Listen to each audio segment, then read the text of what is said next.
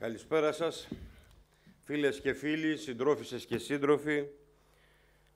Η εργατική τάξη, τα λαϊκά στρώματα, δεκαετίες τώρα, μετράνε από το μάτι μέχρι τη Χαλκιδική, από τη Μάντρα μέχρι τη διαχρονικά χτυπημένη Δυτική Αθήνα, εκατοντάδες νεκρούς, τεράστιες απώλειες λαϊκής περιουσίας, λαϊκών κατοικιών, καλλιεργειών, εκατοντάδων χιλιάδων στρεμάτων, κτηνοτροφικού κεφαλαίου επίσης, μεγάλων υποδομών. Άλλοτε από πυρκαγιές, άλλοτε από πλημμύρες, άλλοτε από σεισμούς, άλλοτε από βιομηχανικά ατυχήματα. Η μια μεγάλη καταστροφή ακολουθεί την προηγούμενη. Και κάθε φορά η μόνιμη εποδός είναι πως πολιτικά υπεύθυνος για τους θανάτους και τις καταστροφές δεν υπάρχει. Άλλοτε έκανε πολύ ζέστη, άλλοτε φύσαγε πολύ, άλλοτε έβρεχε πολύ, άλλοτε έφταιγε η κακιά στιγμή. Τα μέσα μαζικής ενημέρωσης αναπαράγουν επίμονα την κυρίαρχη προπαγάνδα, ότι για, για τις καταστροφές φταίνε όλοι οι άλλοι εκτός από το σύστημα και τις κυβερνήσεις του. Φταίνε οι ακραίες και αργές συνθήκες, η κλιματική αλλαγή, οι ασύμετρες απειλές, τα επιμέρους λάθη στο σχεδιασμό υπηρεσιακών παραγόντων. Ακόμα και οι κάτοικοι που αυθαιρέτησαν. Ό,τι και να κάνουν, όσοι κυβερνητική προπαγάνδα από προσανατολισμού και ψευτιάς και αν επιστρατεύσουν, δεν πρόκειται ούτε μπορούν να πείσουν κανέναν για την αιτία της τραγωδίας που επιβιώνει, επιβεβαιώνει τη λαϊκή ρίση όπου φτωχός και η μοίρα του. Γι' αυτό είναι αναγκαία η κινητοποίηση των φτωχών εργατικών λαϊκών στρωμάτων πρώτα απ' όλα. Η φτηνή προπαγάνδα πάνω στα αποκαίδια, στα ποτάμια της λάσπης, προσβάλλει τους νεκρούς από τις πλημμύρες, από τις πυρκαγιές, από τους σεισμούς.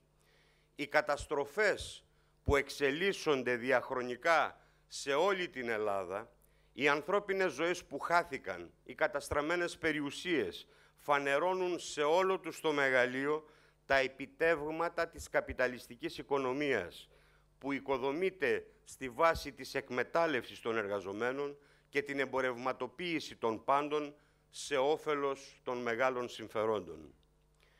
Οι μεγάλες ευθύνες όλων των μέχρι σήμερα κυβερνήσεων, μηδενιάς εξαιρουμένης, αποκαλύπτονται ξεκάθαρα στην προώθηση της πολιτικής αστικής ανάπτυξης, στην οποία μοναδικό κριτήριο είναι η συνεχής αύξηση του κέρδους.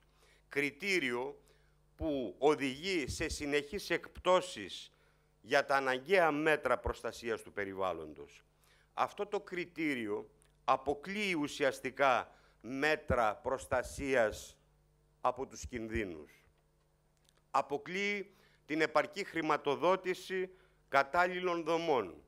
Αποκλείει τον ολοκληρωμένο σχεδιασμό με στόχο τις κοινωνικές ανάγκες.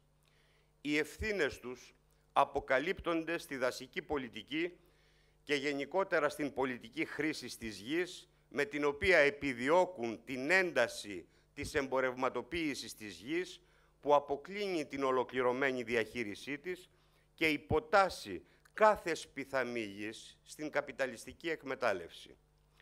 Αποκαλύπτονται περίτρανα στην υποστελέχωση, ανεπάρκεια και προσωπικού και μέσων και υποδομών των κρατικών υπηρεσιών, ειδικότερα του πυροσβεστικού σώματος, της δασικής υπηρεσίας, στις κρατικές δομές υγείας, όπως τα νοσοκομεία, τα κέντρα υγείας κλπ.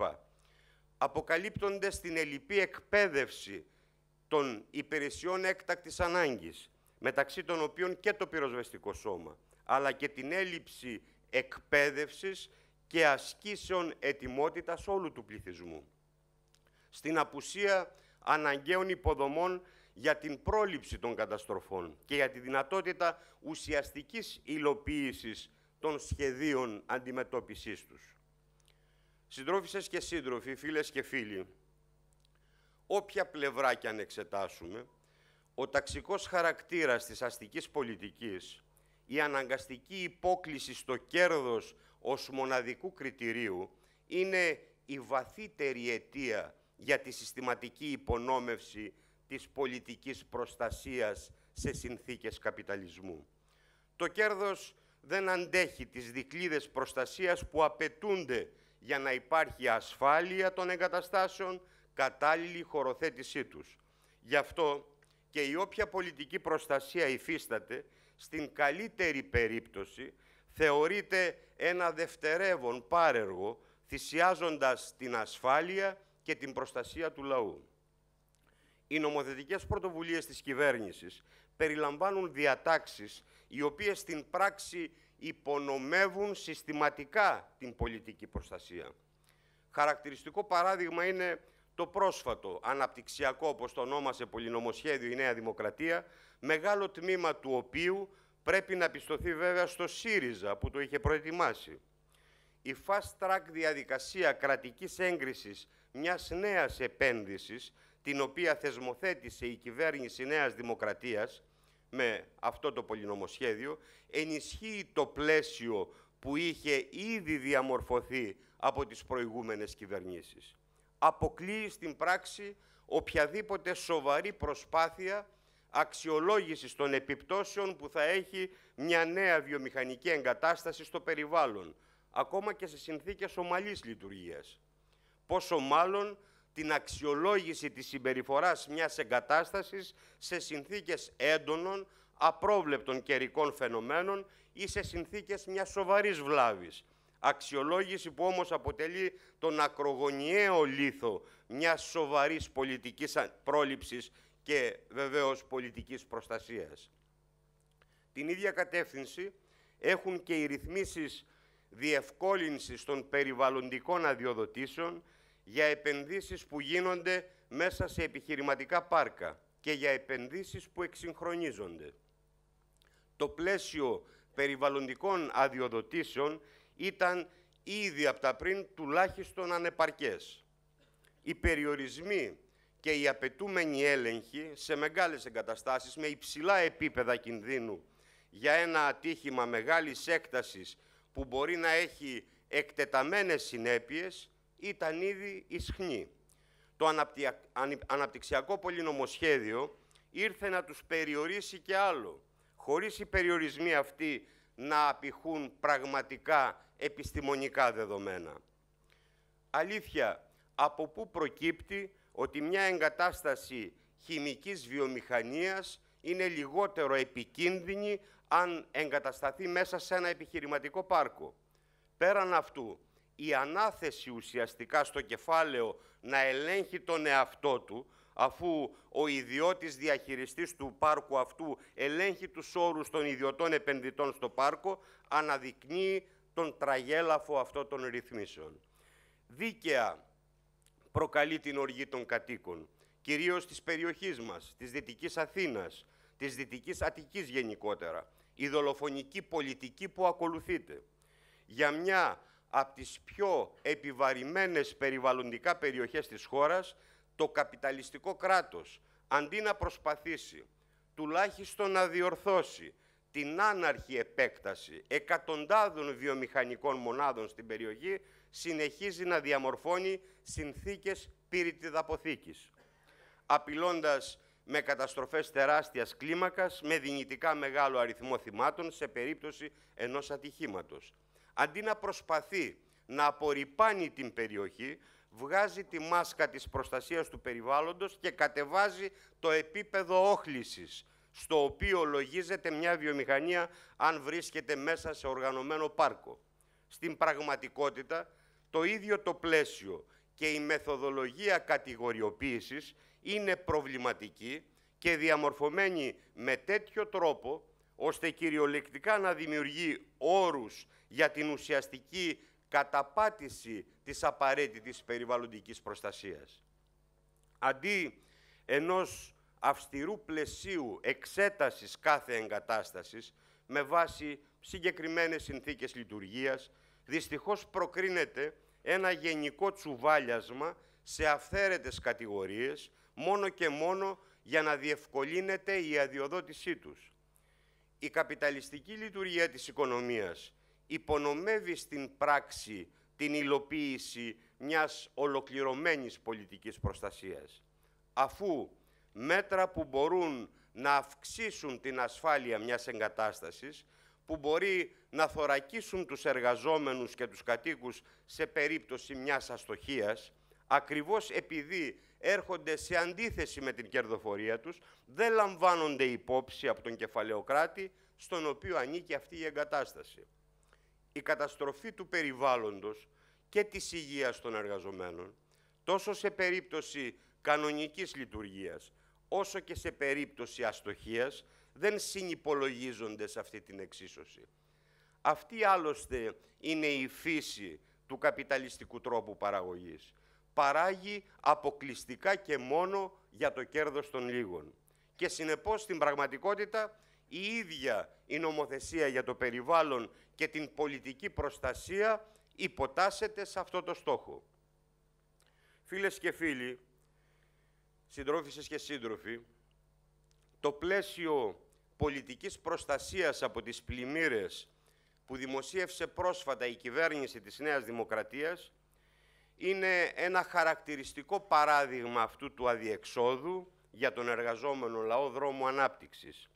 Τόσο ο τρόπος εκτίμησης του κινδύνου από τις πλημμύρες, τα μέτρα πρόληψης, όσο και τα μέτρα διαχείρισης διαπνέονται συνολικά από την κραυγαλαία αδιαφορία για τις συνθήκες ζωής του λαού που χαρακτηρίζει αυτό το σάπιο και άδικο σύστημα.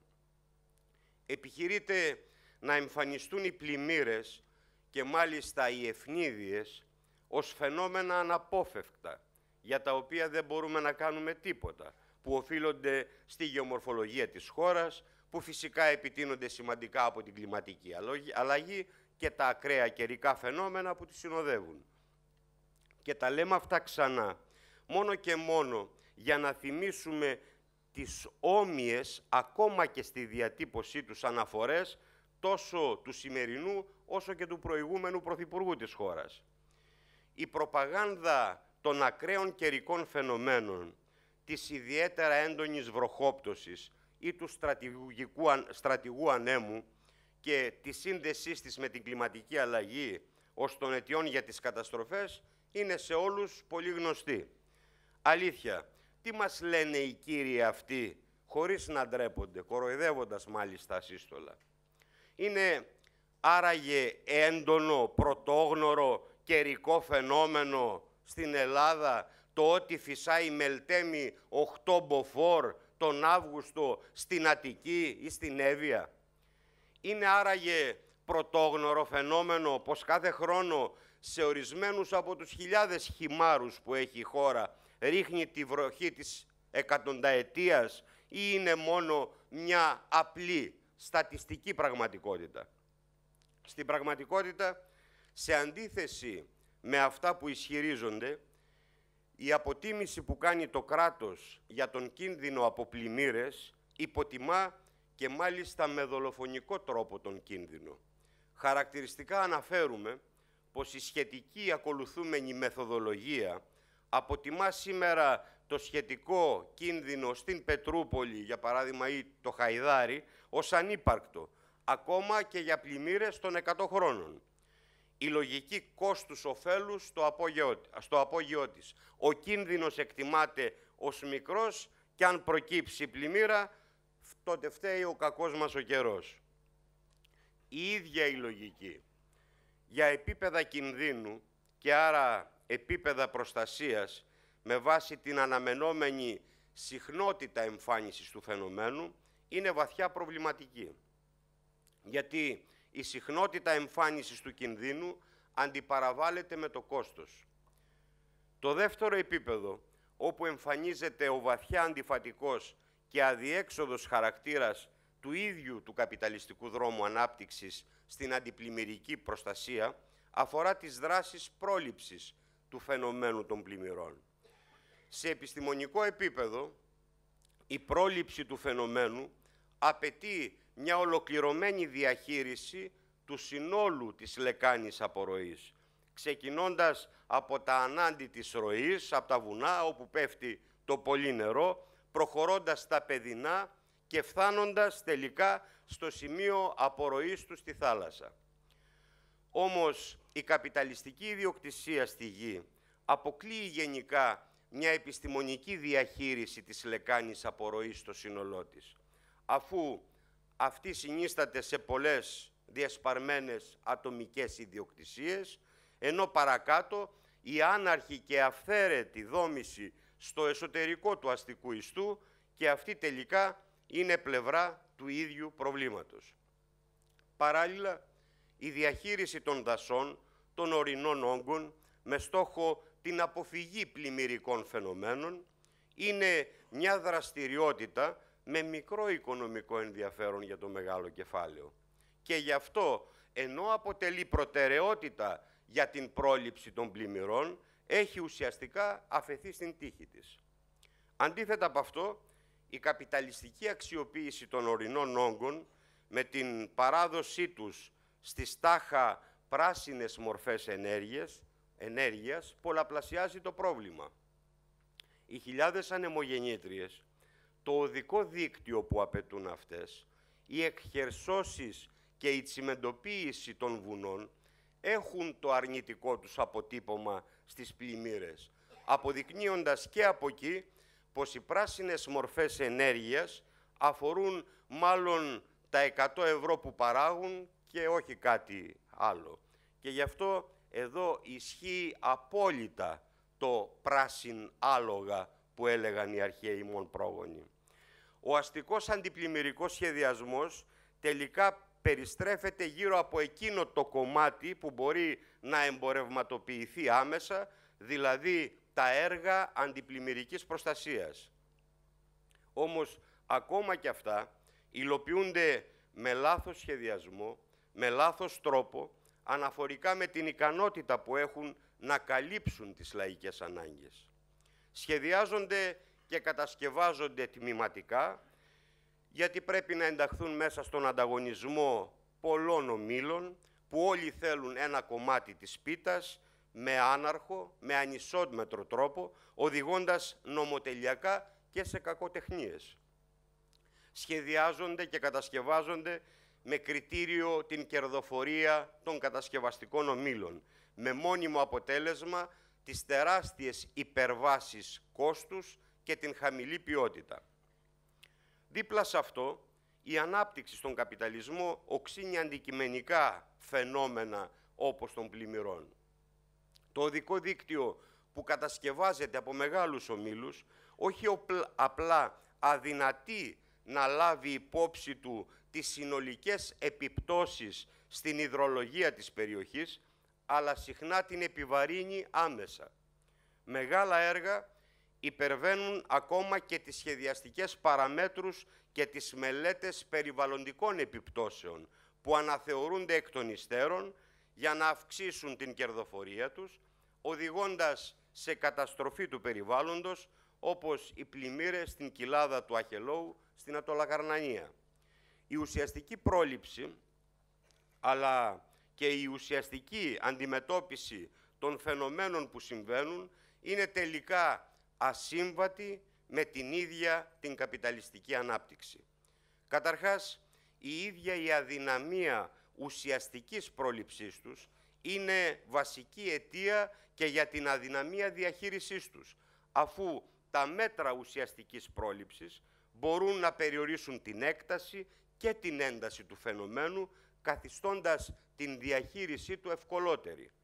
Όμως, το κίνητρο του κέρδους και η φύση αυτού του κράτους γενικότερα, επίσης διαμορφώνουν την έκταση και το είδος των μέτρων αντιμετώπισης τέτοιων καταστροφών. Μέτρα θωράκισης, αναμόρφωσης και νέου σχεδιασμού της πόλης και των υποδομών για να, για να μπορούν να ανταπεξέλθουν στα πλημμυρικά φαινόμενα, σε άλλες ε, φυσικές ή ανθρωπογενείς καταστροφές, είναι σήμερα πρακτικά ανύπαρκτα στο σχεδιασμό της πολιτικής προστασίας.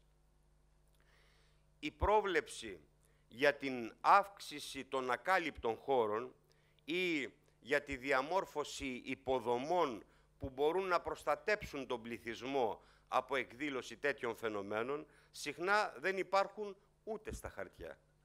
Ο ίδιος ο σχεδιασμός αντιπλημμυρικής προστασίας είναι ένα γενικόλογο ευχολόγιο, ένας κατάλογος από τίτλους δράσεων που πρέπει να υλοποιήσουν κατά βάση οι Δήμοι, πραγματικός στόχος του οποίου είναι να κατανείμει τις ευθύνες για τις ελλείψεις μετά την εκδήλωση της πλημμύρας. Τελείως αντιεπιστημονικά ανατίθεται στον εκάστοτε Δήμο ο κύριος όγκος του σχεδιασμού παρά το γεγονός ότι η πλημμύρα ως φαινόμενο έχει εκτεταμένα γεωγραφικά όρια και αφορά υδρολογικές λεκάνες και όχι δήμους, ενώ και τα μέσα αντιμετώπισης της έχουν σημαντικά μεγαλύτερη έκταση. Πέραν αυτού, οι αρμοδιότητες ανατίθανται στους Δήμους χωρίς να υφίσταται χρηματοδότηση, σχετικό προσωπικό ή εκπαίδευση, ουσιαστικά μεταφέροντας το κόστος με ανταποδοτικό τρόπο στους δημότες. Το σχέδιο δράσης για τις πλημμύρες δεν προβλέπει καν ένα μηχανισμό για την πρόβλεψη εμφάνισης πλημμύρας. Αναθέτει στους Δήμους την εκτίμηση αυτή, παραθέτοντας απλά ορισμένους παράγοντες που επιδρούν στο αν θα εμφανιστεί η πλημμύρα. Αλήθεια, ο κάθε Δήμος θα εκτιμήσει το υδρογραφικό δίκτυο, τη γεωλογία, τη γεωμορφολογία της λεκάνης απορροής, τον κορεσμό του εδάφους από βροχοπτώσεις, τη φυτοκάλυψη και άλλα για να εκτιμήσει αν θα προκύψει πλημμύρα ή πόσο μεγάλος κίνδυνος είναι αυτός. Το λεγόμενο σχέδιο δράσης δεν προβλέπει καν στοιχειώδη μέτρα, όπως τον εντοπισμό, για παράδειγμα, σε κάθε περιοχή των σημείων που μπορεί δυνητικά να εκδηλωθεί πλημμυρικό φαινόμενο και την κατάστρωση συγκεκριμένων σχεδίων απάντησης σε κάθε τέτοιο ενδεχόμενο. Δεν προβλέπει εκπαίδευση και ασκήσεις του πληθυσμού για τέτοια φαινόμενα. Δεν προβλέπει καν ένα κρατικό μηχανισμό επαρκώς τελεχωμένο και εξοπλισμένο προκειμένου να ανταπεξέλθει. Η επίκληση των εθελοντικών ομάδων σε επίσημο κρατικό κείμενο προκαλεί πραγματικό ρίγος αφού αποτελεί στην ουσία έμεση αλλά απολύτως ρητή ομολογία της ανεπάρκειας του κράτους να ανταπεξέλθει σε τέτοια φαινόμενα. Ομοίως, οι προβλέψεις για την στήριξη των πλημμυροπαθών είναι τουλάχιστον αστείες. Φίλες και φίλοι, συντρόφισσες και σύντροφοι, στα ίδια συμπεράσματα θα καταλήξουμε όποιο άλλο θέμα και αν εξετάσουμε. Είτε την προστασία από τους σεισμούς, είτε από τις πυρκαγιές, είτε από τα βιομηχανικά ατυχήματα μεγάλης έκτασης. Όποιο θέμα από αυτά και αν εξετάσουμε, θα διαπιστώσουμε τα μεγάλα κενά τόσο σε επίπεδο πρόληψης, όσο και σε επίπεδο σχεδιασμού έκτακτης ανάγκης. Εύκολα μπορεί ο καθένας να διαπιστώσει την πλήρη απουσία ενημέρωσης και εκπαίδευσης του πληθυσμού για τέτοιου είδους καταστάσεις. Γνωρίζουμε όλοι, για παράδειγμα, ότι δεν έχουν πραγματοποιηθεί ασκήσεις ετοιμότητας του πληθυσμού για μεγάλες καταστροφές, όπως παραδείγματος χάρη οι σεισμοί. Η παντελής απουσία ολοκληρωμένου σχεδιασμού για την καθοδήγηση του πληθυσμού κατά τη διάρκεια που εξελίσσεται μια καταστροφή, φάνηκε ανάγλυφα και στην πυρκαγιά στο μάτι και στις άλλες καταστροφές, στις οποίες τρινήσαμε δυστυχώς πολλούς νεκρούς.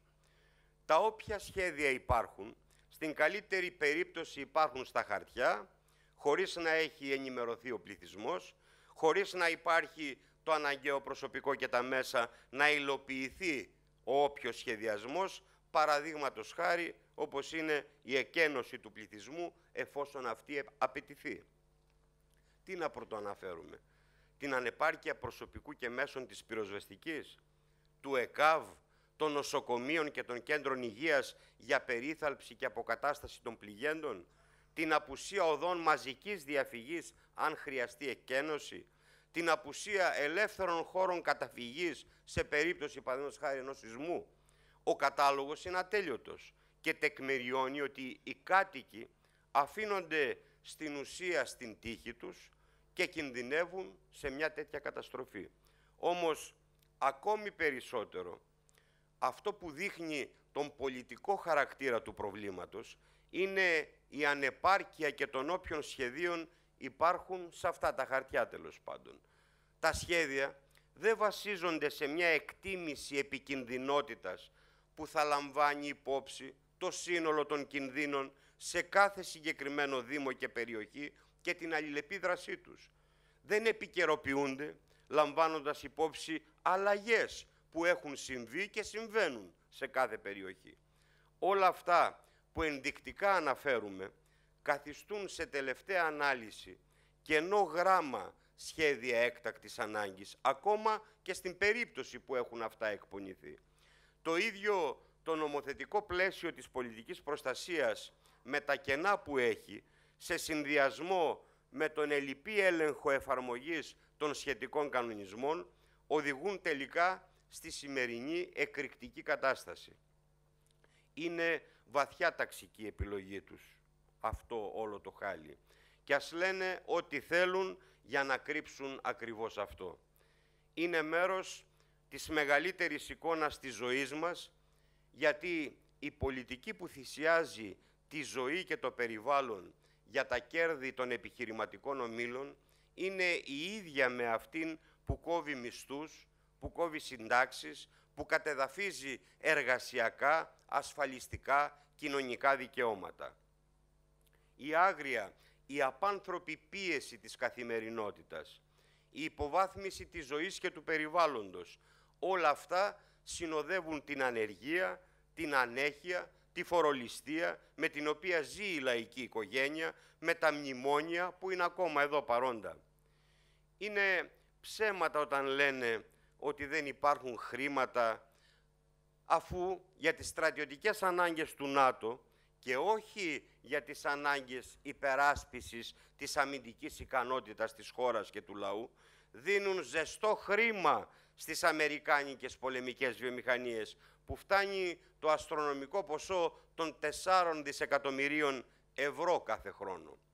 Είναι ψέματα όταν λένε ότι δεν μπορούν να βρουν τα χρήματα την ίδια ώρα που χαρίζονται χρέη δισεκατομμυρίων στο μεγάλο κεφάλαιο σε συγκεκριμένους μονοπωλιακούς ομίλους ή τους απαλλάσσουν από τη φορολογία. Και την ίδια ώρα αυτοί οι όμιλοι εξάγουν κεφάλαια σε άλλες χώρες. Σε αυτό το σύστημα που έχει για Θεό του το κέρδος βρίσκεται η πηγή του κακού για τις καταστροφές και από τις πυρκαγιές και από τις πλημμύρες και τις γκρεμισμένες γέφυρες λόγω έλλειψης σύγχρονου κεντρικού επιστημονικού σχεδιασμού.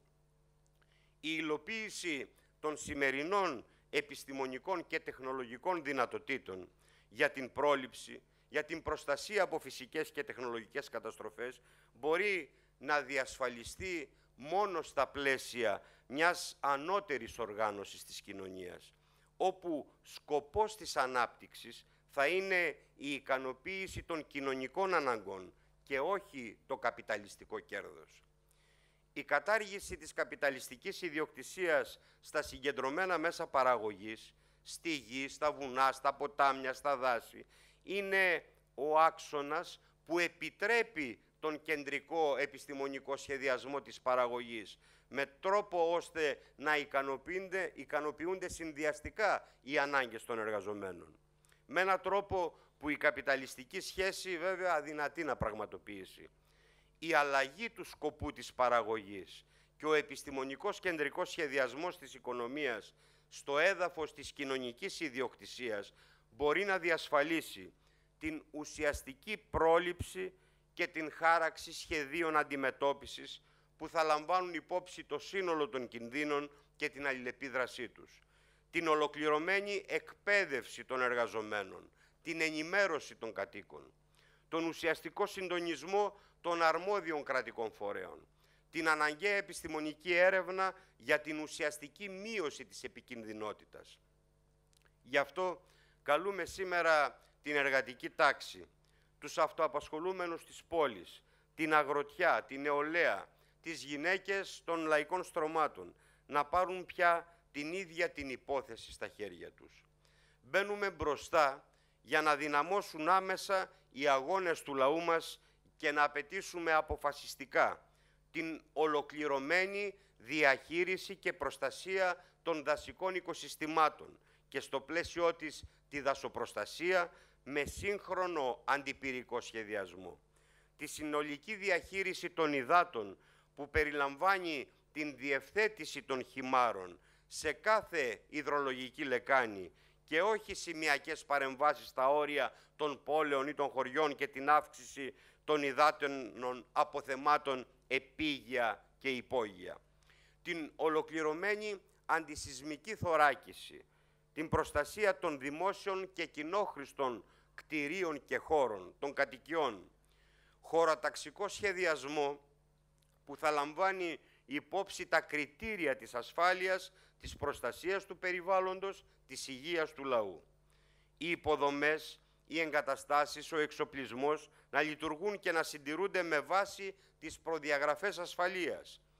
Την απαραίτητη χρηματοδότηση για την υλοποίηση του σχεδιασμού αυτού των έργων, των εργασιών και κάθε απαραίτητης ενέργειας ή διαδικασίας που θα διασφαλίζονται από τον κρατικό προϋπολογισμό. Να υπάρχει επαρκές, ειδικευμένο και εκπαιδευμένο προσωπικό στις βιομηχανικές μονάδες, στα νοσοκομεία, σε κάθε άλλο χώρο που μπορεί να πληγεί και να είναι εξασφαλισμένο ότι θα ακολουθούνται διαδικασίες ασφαλείας. Θα υπάρχει ουσιαστικός κρατικός έλεγχος του συνόλου των διαδικασιών που απαιτούνται για την πρόληψη. Το πρόβλημα αυτό αφορά περιοχές ιδιαίτερα όπου υπάρχουν εγκαταστάσεις με επικίνδυνες ουσίες. Παραδείγματος χάρη βιομηχανίες υψηλής επικινδυνότητας που διαχειρίζονται έφλεκτες, τοξικές ή εκρηκτικές ουσίες, αγωγή μεταφοράς πετρελοειδών, φυσικού αερίου και άλλα. Βεβαίως, δεν περιορίζεται μόνο σε αυτές τις περιπτώσεις. Ακόμη και σε μια πολυκατοικία ή σε ένα χώρο συνάθρησης κοινού, όπως μπορεί να είναι ένας κινηματογράφος ή ένας χώρος άθλησης, όπου συγκεντρώνονται νέοι άνθρωποι, η πρόληψη των πυρκαγιών και η προετοιμασία αντιμετώπισης είναι αναγκαία. Η πληθώρα παραδειγμάτων από ατυχήματα με πυρκαγιές, με εκρήξεις σε αστικές και βιομηχανικές περιοχές της χώρας, αλλά και στο εξωτερικό, υπογραμμίζουν τη σημασία αυτής της πρόληψης. Φίλες και φίλοι, συντρόφισσες και σύντροφοι, απέναντι σε αυτόν τον αδιέξοδο δρόμο, μια νέα κοινωνία, ο σοσιαλισμός ανατέλειος μονόδρομος. Σε αυτό το πλαίσιο, το κύριο βάρος θα δίνεται στη συνολική διαχείριση της γης, στην προστασία και ανόρθωση των δασικών οικοσυστημάτων, που απαιτεί μέσω μακροπρόθεσμο, επιστημονικό, κεντρικό σχεδιασμό, ενιαία αντιπυρική προστασία, με κύριο βάρος την πρόληψη και την ειδική διαχείριση της δασικής βλάστησης. Ως κόμμα συνεχίζουμε την προσπάθεια αναλυτικής διερεύνησης όλων των επιμέρους θεμάτων αυτού του σύνθετου και μεγάλου ζητήματος. Το αμέσως επόμενο διάστημα θα παρουσιάσουμε και πιο αναλυτικά τις θέσεις μας για το σύνολο και το συνολικό σχεδιασμό που απαιτείται για την πολιτική προστασία για κάθε πλευρά των φυσικών και τεχνολογικών καταστροφών καθώς και την ολοκληρωμένη αντιμετώπιση που θα εστιάζει στην αλληλεπίδραση όλων αυτών των παραγόντων κινδύνου. Δυναμώνοντας αυτόν τον προσανατολισμό, το εργατικό λαϊκό κίνημα με αποφασιστικότητα μπορεί να παλέψει για άμεσα ζητήματα σήμερα που επίγει η αντιμετώπιση και η λύση τους, όπως το να εκπονηθεί ολοκληρωμένος ουσιαστικός σχεδιασμός συνδυαστικής αποτίμησης για το σύνολο των κινδύνων, φυσικών, τεχνολογικών, με ευθύνη και χρηματοδότηση του κράτους. Να ληφθούν τα αναγκαία άμεσα μέτρα πρόληψης εκδήλωσης καταστροφών, ελαχιστοποιήσεων των επιπτώσεών τους. όπως σχεδιασμός των απαραίτητων έργων υποδομής, αντιπλημμυρικής προστασίας, ολοκληρωμένης διαχείρισης των δασών, μέτρα προσυσμικού ελέγχου και προστασίας για τα δημόσια κτίρια και τους χώρους συγκέντρωσης πολλών ανθρώπων, ουσιαστικός και συστηματικός έλεγχος της, αστικής επάρ... της στατικής επάρκειας και της ασφάλειας σε περίπτωση σεισμού όλων των κτίριων, αποτίμηση του κινδύνου, συνεχής έλλειψη και λήψη όλων των αναγκαίων μέτρων ελαχιστοποίησης του κινδύνου στις τεχνολογικές εγκαταστάσεις. Να εκπονηθεί ολοκληρωμένος σχεδιασμός αντιμετώπισης τεχνολογικών και φυσικών καταστροφών, εκπαίδευση και ενημέρωση ταυτόχρονα του πληθυσμού, με χρηματοδότηση για ανάπτυξη της έρευνας σε αυτή την κατεύθυνση. Η οργάνωση της πολιτικής προστασίας, της αντιμετώπισης φυσικών, τεχνολογικών καταστροφών σε επίπεδο δομής, υποδομών, εξοπλισμού, σχεδιασμού και αντιμετώπισης να είναι αποκλειστική μέρημνα και ευθύνη του κράτους με καθορισμένους ρόλους για όλες τις εμπλεκόμενες υπηρεσίες και κρατικά όργανα. Να ενισχυθούν ουσιαστικά οι μηχανισμοί, οι κρατικοί μηχανισμοί αδειοδότησης, ελέγχου, εποπτείας των εγκαταστάσεων και να ανατραπεί το ισχύον πλαίσιο περιβαλλοντικής αδειοδότησης που διευκολύνει την τοποθέτηση και την χωροθέτηση εγκαταστάσεων στην κατεύθυνση ολοκληρωμένης επιστημονικής εκτίμησης του συνόλου των επιπτώσεων από μια εγκατάσταση σε κανονική λειτουργία, σε ατύχημα και κατά την απόσυρσή της. Να καταργηθούν το πλαίσιο χρήσεων γης, η αντιδραστική δασική νομοθεσία που ψήφισαν τόσο οι κυβερνήσεις της Νέας Δημοκρατίας, του ΠΑΣΟΚ, όσο και του ΣΥΡΙΖΑ και διασφαλίζουν τα συμφέροντα του μεγάλου κεφαλαίου που υποτάσσει βέβαια το περιβάλλον στο κέρδος του και καθιστά αδύνατη την ουσιαστική πολιτική προστασία. Να χρηματοδοτηθούν από τον κρατικό προϋπολογισμό και να ενισχυθούν μαζικά σε μόνιμο προσωπικό και με όλο τον απαιτούμενο εξοπλισμό όλες οι δομές πρόληψης, διαχείρισης, πολιτικής προστασίας, υγείας, διαχείρισης, εκτίμησης, πρόγνωσης φυσικών τεχνολογικών καταστροφών με μόνιμο προσωπικό και εξοπλισμό. Να χρηματοδοτηθεί το σύνολο των αναγκαίων τεχνικών μέσων για την αντιμετώπιση τέτοιων καταστροφών.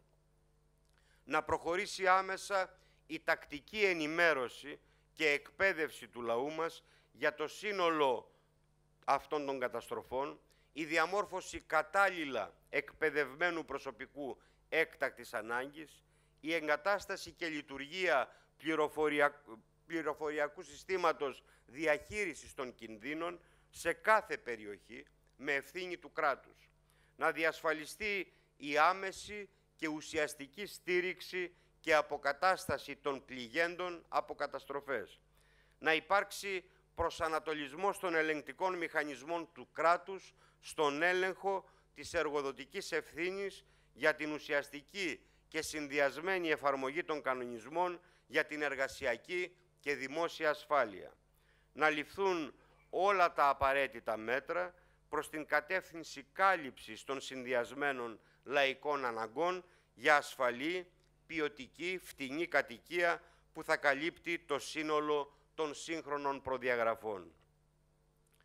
Φίλες και φίλοι, συντρόφισσες και σύντροφοι, από εδώ, από το Ήλιον, από τις πολύπαθες εργατογειτονιές της Δυτικής Αθήνας, απευθύνουμε κάλεσμα αγωνιστικής συμπόρευσης, συστράτευσης με το ΚΚΕ, για να οργανωθεί η διεκδίκηση, η πάλι, για να αλλάξει ο συσχετισμός σε όφελος της λαϊκής πλειοψηφίας που στενάζει από την πολιτική που ενισχύει επιχειρηματικούς ομίλους σε βάρος της εργατικής τάξης, σε βάρος των λαϊκών στρωμάτων, πολιτική με την οποία ευθυγραμμίζονται και η κυβέρνηση της Νέας Δημοκρατίας τώρα, ο ΣΥΡΙΖΑ πριν, άλλα κόμματα του συστήματος. Τώρα με το ΚΚΕ για την προστασία της ζωής μας, της ζωής των παιδιών μας. Σας ευχαριστώ. Καλή δύναμη σε όλους και όλες.